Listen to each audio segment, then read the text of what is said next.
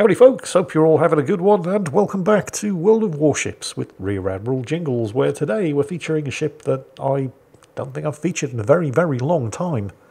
The good old Stalingrad, available only for steel in the armory and once considered completely overpowered. So much so that tournaments were forced to start limiting the number of Stalingrads that teams could take into competitive World of Warships tournaments. Wargaming, of course, with their finger on the pulse as always, soon took note of the number of Stalingrads that people were trying to get into competitive gaming and decided to reduce the number of Stalingrads that people were queuing up for in tournaments by introducing the Petropavlovsk. An equally, in fact some would say even more overpowered ship that didn't require you to farm obscene amounts of steel which you could simply unlock in the tech tree. As always, Wargaming don't fix problems, they just move them around a bit. Oh, do you remember when everyone was complaining that the Soviet Tier 10 battleship, the Kremlin, was way too tanky and needed nerf? And Wargaming said, Yep, we've heard your concerns and we're going to address them. We're nerfing its mid range anti aircraft fire. oh, Wargaming, don't ever change. anyway. so, sailing the Stalingrad for us today I'm not entirely sure how to pronounce his name. If this is the EU server, it could be Jacob Block, it could be Jacob Block. I, I, you know, I'm just going to call him Jake. Good old Jake, distant relative of Dave, who we haven't seen around here in quite some time, but don't worry, I'm sure he'll be making a reappearance very, very soon. So what exactly was it about the Stalingrad that made it so ridiculously good? Well, there's a couple of things. 25% torpedo damage reduction, 12 kilometer range radar, pretty good armour, an absurd amount of hit points, even for a tier 10 cruiser, but it was mostly the guns, or more specifically, the armour-piercing shells that they fired.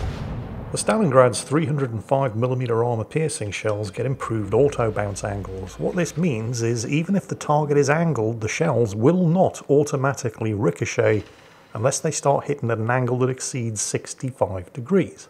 Now in case you're wondering just exactly how significant a buff to the armour-piercing shells this is, the standard angles for armour-piercing ricochets are between a flat broadside of 0 degrees and 45 degrees, there is zero chance for ricochet.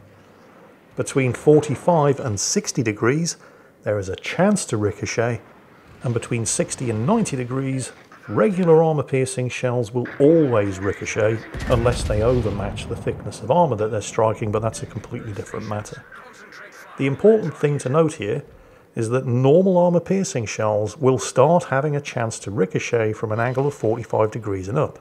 But the Stalingrad shells don't even start having a chance to ricochet until the angle exceeds 65 degrees, and that's huge. And what it basically means is if you're angling against the Stalingrad and you think you're safe, you're probably not.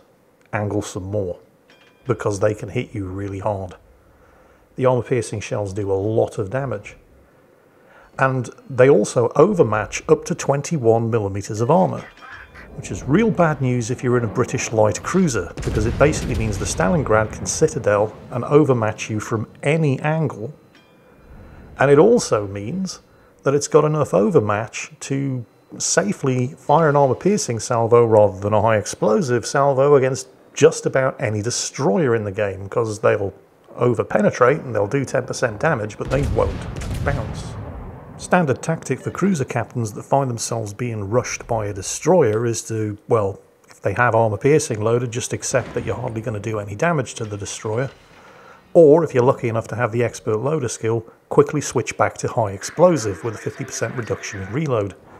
Stalingrad captains don't really have to worry about switching ammunition types when faced with a destroyer charging headlong towards them, because even if you're firing at him at what would normally be automatic ricochet angles, if he's coming straight at you bow in, you overmatch his armour.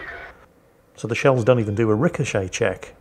Anything that hits him is going to penetrate, possibly over penetrate, but it's never going to bounce. The Stalingrad's downside is the high explosive damage per minute, which is pretty bad. On paper, the high explosive shells don't look that terrible. 33% chance of setting fire to a target with 4,500 maximum damage per shell, but you need to put that into perspective. These are 305mm guns. The Shimakaze, a tier 10 destroyer, has 127mm guns, and they do 2,150 maximum high explosive shell damage. just under half the damage for slightly less than a third of the caliber, and a much faster rate of fire. If you ever find yourself firing high explosive in the Stalingrad, there's usually something gone badly, badly wrong. And usually it's your choice to switch to the high explosive ammunition. Especially with the improved auto bounce angles of the armor piercing shells, it's almost always going to be better to fire the AP. So that's it. That's that's the only real downside to the Stalingrad. Bad high explosive, a problem that can be fixed by just not firing high explosive. Well, yeah, kind of. Well, I mean, there are other downsides. She doesn't have hydro. Her concealment's terrible. It's worse than some tier 10 battleships. The ship handling is pretty bad as well. All of which can make her quite vulnerable to destroyers. But her 305mm armor piercing shells will never ricochet off a destroyer's plating, and she does have 25% torpedo damage reduction, so yeah, yeah, yeah. You gotta take the rough with the smooth, I suppose. I don't think anybody would seriously argue that the Stalingrad is a brokenly overpowered ship anymore, but it's still pretty damn strong. Now, up to this point, you could quite easily be forgiven for thinking, Jingles, why are we watching this? He, nothing's really happened, he hasn't really done anything. And yeah, but there's a very good reason for that. Yeah, he's camping behind an island in the centre of the map, but from this position he has been able to trade shots with some enemy ships, and even in this position of relative safety, he's already lost a third of his health. From here he's in a strong position to use that 12 kilometre radar to support his teammates both here in the middle, of which there's only really that destroyer over there, but also his teammates to the left and right. The only reason he hasn't actually used his radar yet is because it would have been completely pointless. If you look at Capture Circle Alpha, which has just been flipped, there's a Des Moines in there, not a destroyer, and he's in a nice comfortable position behind the island and he has plenty of fire support on anybody that tries to push further south, namely this Smolensk, who's in an equally strong position providing spotting on Jake's teammates over there to the west, who don't really appear to have much of an idea of where they're going to go or what they're going to do. Because if they were to push further south, not only would the Smolensk be able to crossfire them, but he's also spotting everybody for the other enemy ships down to the south. Anybody trying to push forward at this point and the Östergötland's having a go. He doesn't know there's a Des Moines over there, doesn't he? Maybe his radar's on cooldown. We'll see how it all works out. At the moment, both teams have lost one ship each. And Jake, seeing the Östergötland going for it, is moving up to support. Pops the radar, anticipated catching the Mogador in that position, which is the only reason he switched to the high explosive shells, Although given the 21mm of overmatch on the armour-piercing shells of the Stalingrad, the armour-piercing would probably have done the same job. And for a few seconds, for the second time in this match, because his team did score the first kill, Jake's team go ahead on points. The Östergötland is now contesting the cap circle at Alpha. Pretty much nobody on either team has bothered with the central cap at Bravo yet, and his team are now pushing the cap circle at Charlie. This is about as good as it's going to get for Jake's team for the entire course of the remainder of this battle. Sensing an opportunity, Jake continues to push forward in support of his teammates over there on the west, who are likewise pushing forward, except not all of them are. The Atago's heading the wrong way, the Östergötland has quit the cap circle at Alpha, the cruiser who was trying to flip the cap at Charlie has just been sunk, which means the enemy team retain control of Alpha and even though both teams have suffered three losses, it's that capture point at Alpha with the steady trickle of incoming points that is going to give the enemy team the upper hand. Jake, of course, is kind of committed. He can't turn around and back out now. He needs to get into cover behind this island. This will give his radar some additional coverage, but he still kind of has the same problem he had earlier behind the island up to the north. It's all well and good using the radar to spot targets, but if those targets are hidden behind islands, nobody can actually shoot at them. And the position of the Smolensk and the Des Moines are the same. Any of his teammates to the west who try to push forward aren't going to be able to shoot at them until they're caught in a crossfire. The 12 kilometre radar is an important and very strong tool, but it's completely useless if you don't have anybody on your team who's in a position to take advantage of the spotting that it provides and the team have just lost another ship. There is still only a one kill difference between the two teams. Things don't actually look that bad, and there are a few enemy ships, like the Tallinn over there on 500 health, just ripe for the killing. The problem is that despite the improved armour-piercing auto bounce angles, At that kind of range, his shots are basically coming in from directly above, so if he's unlucky enough to strike the Tallinn's belt at that kind of angle, it's still going to ricochet, which is what it just did. And then, it just did it again. Luckiest Tallinn EU 2022. His teammates to the west are making a sort of half-hearted effort to push further south, but they're still running into the crossfire between the Des Moines and the Smolensk. Most importantly, the Smolensk, who's just burnt down the Grosser Kurfürst and sunk in with fires, as well as the Minnesota and the Tallinn down to the south. The team's point position is starting to look really, really bad. They've just lost to Des Moines. They're down to 80 points. The Petropavlovsk over at Charlie has just given up trying to flip it. He really, really needs to sink this Tallinn. And he needs to do it now, or this match could be over in seconds if they lose another ship or two. He does get the Tallinn. This very briefly puts his team back up to triple figures as far as point score is concerned. This briefly buys the team some breathing space. And then things do start to look better when the Atago manages to get some of those torpedoes to connect with the Minnesota down to the south. Of course, the Des Moines over there then finishes off the Östergötland and his team goes straight back down to 110 points again. Here is where Jake once again spots an opportunity. With nobody to spot and crossfire for, the Smolensk has abandoned the position to the south of the island just ahead and you'd think that the friendly Amagi over to the west would be capable of dealing with the Des Moines on very, very low health by himself. It's here where Jake suffers a really nasty lag spike, but he comes out of it okay, he didn't collide with the island up ahead. Jake, reasoning that the Amagi over there bow in against the Des Moines with twice the Des Moines' health and 16 inch guns that can overmatch the Des Moines' armoured nose and citadel it from the front would be quite capable of taking care of a tier 10 cruiser. Plus, there's nothing Jake can actually do to help because the Des Moines, since he's capable of thinking and breathing at the same time, has an island between him and Jake, so he only has to fight one opponent at the same time, and does in fact sink the Amagi. Jake's team are now down to 50 points, and he's got an extremely unwelcome Des Moines on his flank. He's probably reversing right now to try to do the same thing to Jake. There's nothing Jake can do about that right now. He needs to sink that Smolensk, who's motoring south under the cover of his smokescreen. But 12 kilometre radar. Scratch one Smolensk. Jake's team back up to the dizzying heights of 85 points. Fortunately, the Des Moines has not yet reversed into a position where he could spank Jake's broadside. And it's probably just the radar, although it doesn't last very long, that's preventing him from doing so.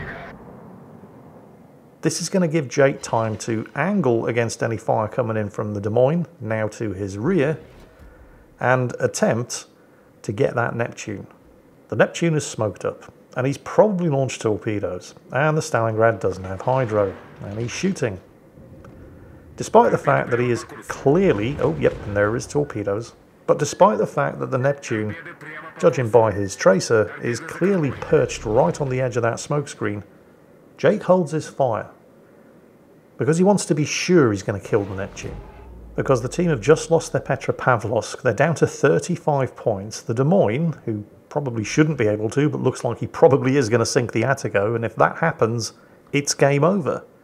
The enemy team have two of the three caps, and if Jake were to just fire now based on where he thinks the Neptune is, without any guarantees of scoring any hits, before the Des Moines kills the Atago, it could cost them the match. And his patience and discipline is rewarded, ensuring the kill on the Neptune just when his team needed it, pushing them back up to the dizzying heights of 70 points. They could really use another kill. Actually, they could use a lot more kills. How are things going to the rear between the... Oh dear, that doesn't look good, does it? and the Atago goes down, putting Jake's team on 20 points, two ships against five. But Jake does have some shots in the air. They're just going to take a while to get there. And he's got the Yamato. There's the Kraken Unleashed. Not much cause for celebration. They're still 80 points away from losing. They still have no caps and they're still outnumbered 2 to 1. He gets a bit of a breathing space here as he takes advantage of the Neptune smokescreen. But there ain't nobody winning this one by hiding. The Indomitable gets an airstrike in. He gets some shots off at the Indomitable. But there is still another Yamato out there somewhere, and good hits on the Indomitable. That's actually quite surprising. He's ready for the Indomitable's return attack now, of course. He is in a Tier 10 artillery cruiser with his defensive fire consumable up. He's reinforced his anti-aircraft sector, and that is just a Tier 8 carrier against a Tier 10 artillery cruiser. And the Indomitable does only get two aircraft per strike package. And the Indomitable spanks him anyway. that hardly seems fair. Slightly bigger problems right now, of course. The enemy Yamato. I think it's fairly safe to say that Jake was sweating bullets at this point, so his first salvo at the Yamato was not aimed particularly well. But while the Yamato's 18-inch guns can overmatch up to 32mm of plating, and the Stalingrad's bows are actually only 25mm thick, they are covered, at least in the lower half, by a 50mm icebreaker, behind which is an angled citadel. So it's actually the tier 8 carrier that's doing more damage to him, and once Jake realises that he's not in immediate danger of dying from the Yamato, and he's getting support from his carrier, he makes the shots count.